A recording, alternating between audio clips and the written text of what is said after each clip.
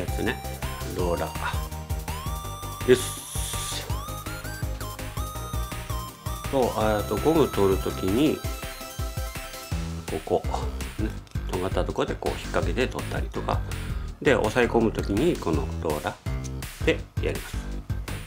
そしてあとは、えーと。4.5のこの網戸の押さえるこのゴムですねで注意してほしいのはこれ4.5って書いてあるけどこれをねあのサイズいろいろ3.5とか4.5とか5.5とかサイズあるのでそれを気をつけて、えー、と既存の使っとったやつのサイズをちゃんとしっかり調べてから購入してくださいね。でこれあのゴム100均にも今売ってました。で今自分使っとるのがねはい4.5このグレーのねこのやつ。黒とも色もいろいろ網戸もいろいろありますよ。で簡単なんでねちゃんとやっていくよそしてえっ、と網戸はねこれ大昔に買ったあのプラントで買ったやつやけどね。こんな感じで余っとったやつですでサイズちっちゃいんで長さによってねロスなく使うために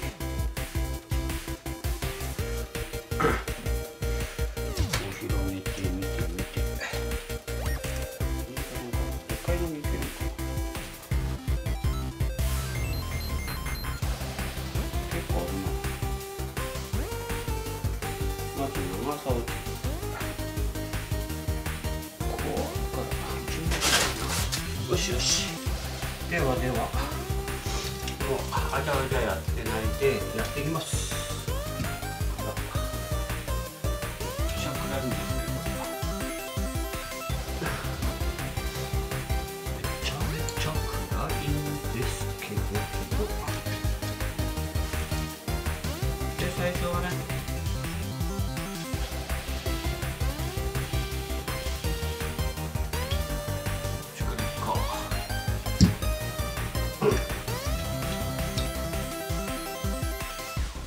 まずね。幅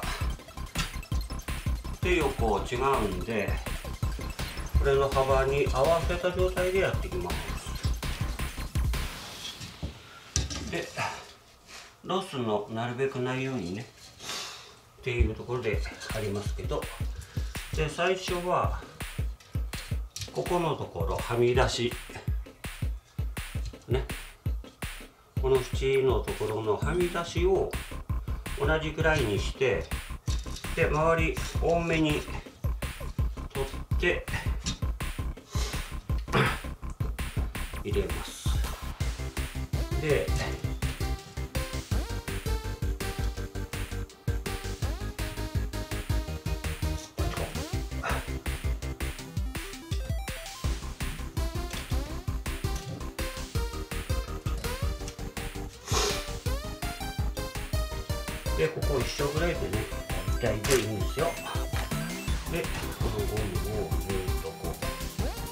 てといて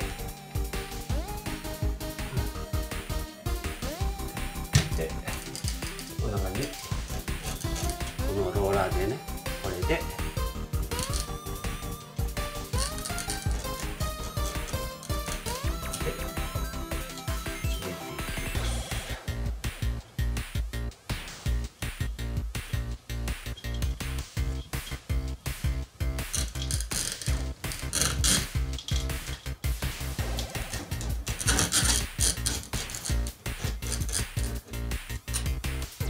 でいいよ。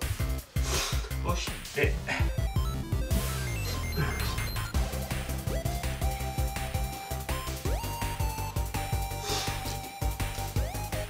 で次はこっちに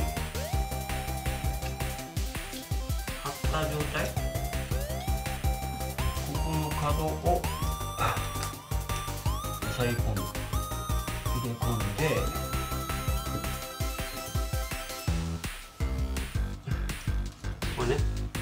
角だけ先にきっちりと押し込んでそして次こっちに引っ張ります。ピンと張ります。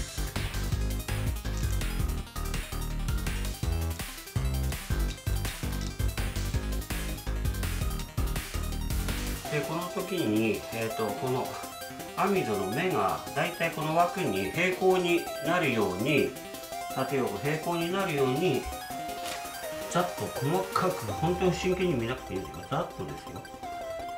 ざっと見て。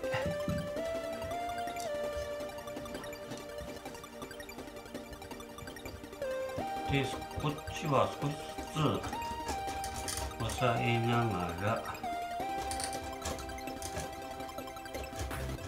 でここのところでねこの目をこう動かしながら。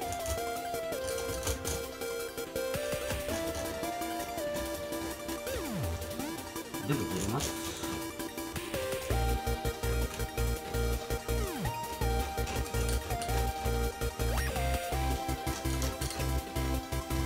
じゃあドアいっちゃいます。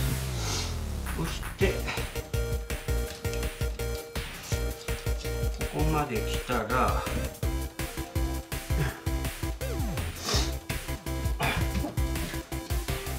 網戸をねこっちの余分な分ざっくり切っちゃいます。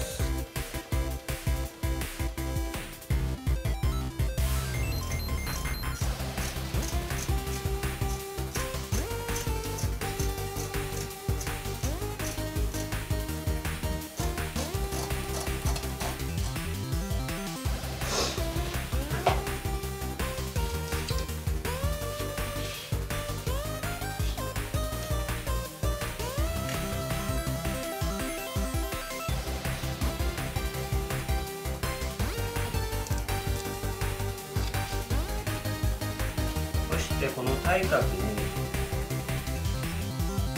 う引っ張ってこの角を踏みながら、この角から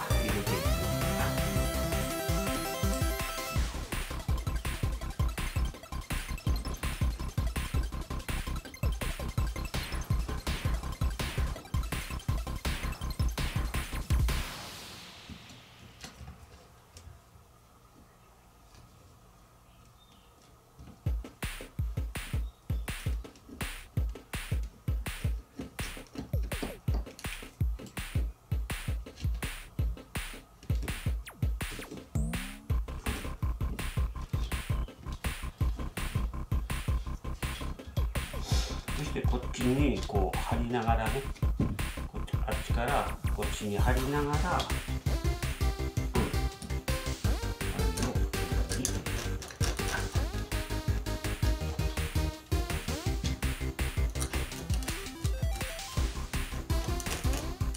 で引っ張りすぎないように。こ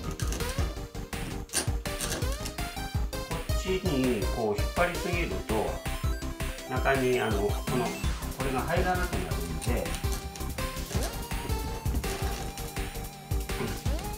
られていく分はこのままで大丈夫です。軽くこうやって押さえとくぐらいで。シワにならんようにこんな感じで。そして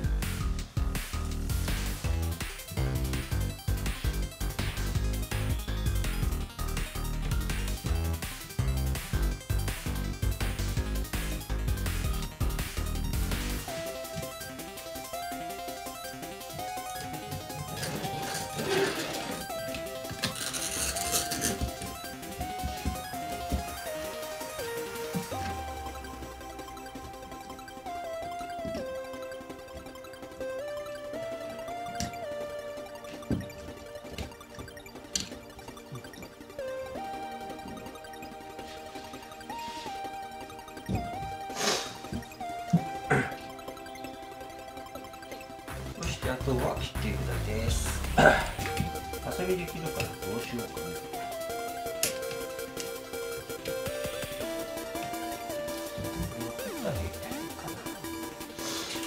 カッターで切っていきます。この枠の縁に合わせて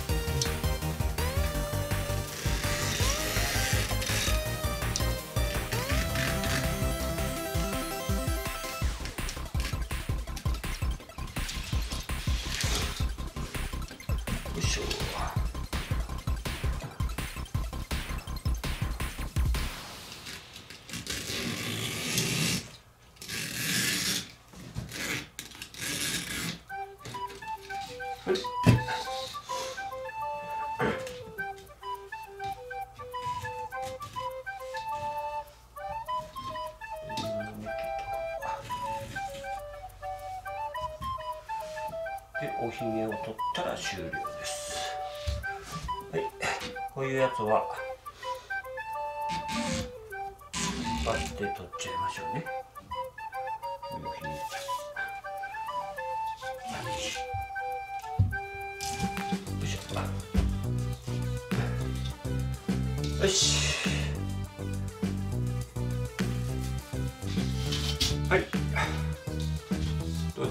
んな感じで1枚終わりました。はいこんな感じでねあの簡単にできるんで是非やってみてください。